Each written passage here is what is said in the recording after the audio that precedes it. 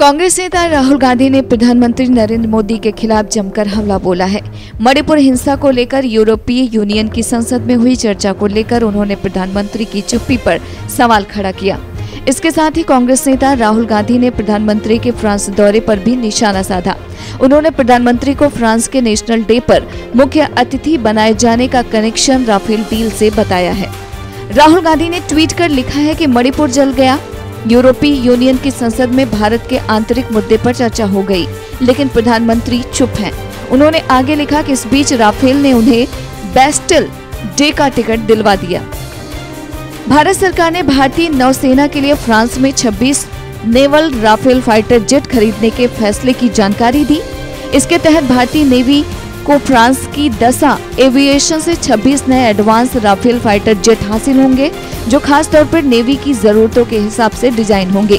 भारत में इन लड़ाकू विमानों के सफल ट्रायल के बाद सरकार ने इन विमानों की खरीद पर आगे बढ़ने का फैसला किया है।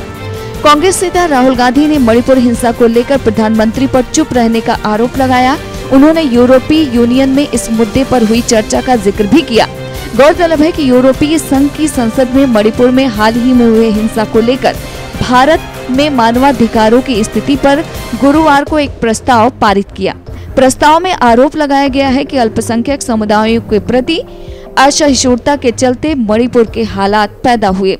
वहीं यूरोपीय संघ की संसद में पारित किए गए एक प्रस्ताव को भारत ने औपनिवेशिक मानसिकता से प्रेरित करार देते हुए खारिज कर दिया था। विदेश मंत्रालय के प्रवक्ता अरिंदम बागची ने कहा कि भारत के आंतरिक मामलों में इस तरह का हस्तक्षेप अस्वीकार्य है। Bureau report, India post news.